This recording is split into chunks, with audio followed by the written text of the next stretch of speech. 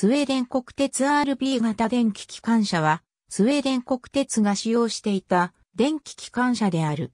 老朽化の進む D 型電気機関車の置き換えを念頭に RA 型電気機関車をもとに開発された車両であるが、RB 型自体は試作車両に止まった。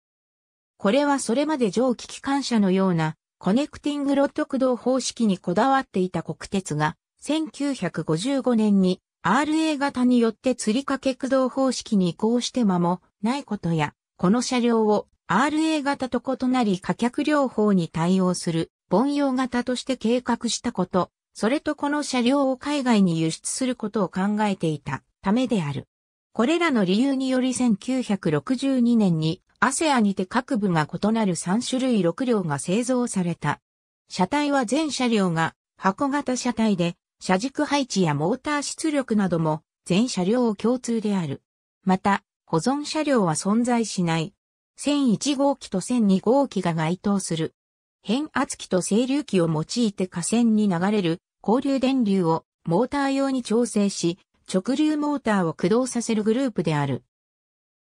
1001号機の型は1965年にサイリスタ制御に改造された上で、サイリスタの頭文字を取って RB1T 型に変更された。サイリスタの優位性は認められて、RC 型にも採用されている。1003号機と1004号機の2両が該当する。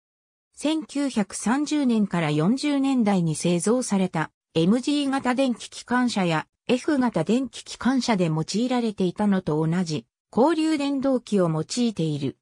1975年から76年にかけてどちらも廃車された。1005号機と1006号機の2両が該当する。1975年から76年にかけて廃車された。